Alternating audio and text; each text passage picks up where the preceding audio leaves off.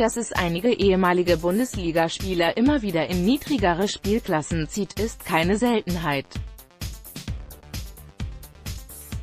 So ist es auch im Fall von Constant Jakpa, der Linksverteidiger wechselt mit sofortiger Wirkung zum SC Hessen Dreieich der Regionalliga-Aufsteiger der hessischen Mittelstadt im Landkreis Offenbach konnte sich somit noch einmal namhaft verstärken. Jakpa war seit über einem Jahr vereinslos, eine Verpflichtung war daher noch möglich. Der 31-jährige Ivora spielte neun Jahre lang in den obersten deutschen Spielklassen, nachdem er im Sommer 2008 von Panduri Taguiot aus Rumänien zu Bayer Leverkusen wechselte.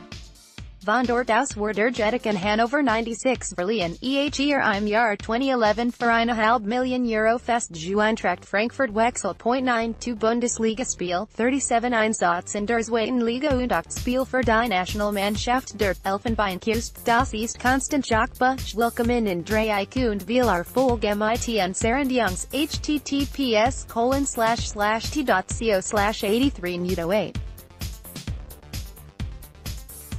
September 2018 Dort erlebte Jakpa seine wohl erfolgreichste Zeit und stand für die Adler in insgesamt 81 Partien nicht nur in der Bundesliga und im DFB-Pokal, sondern auch in der Europa League auf dem Platz. Doch nach fünf Jahren in Frankfurt war Schluss, der Vertrag wurde nicht verlängert. Im Januar vergangenen Jahres schlug der 1. FC Nürnberg zu, doch auch die Franken trennten sich nach einem halben Jahr wieder von Jakpa.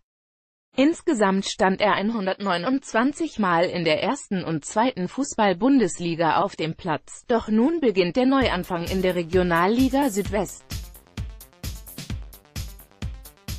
In Dreieich wird die Verpflichtung als großer Coup gefeiert. Mit der Verpflichtung von Constant Jakpa unterstreichen wir unsere Idee, planvoll und schrittweise den Übergang in professionelle Strukturen beim SC Hessen Dreieich zu vollziehen, wird beispielsweise Manager Yüksel Ekitz auf der vereinseigenen Website zitiert.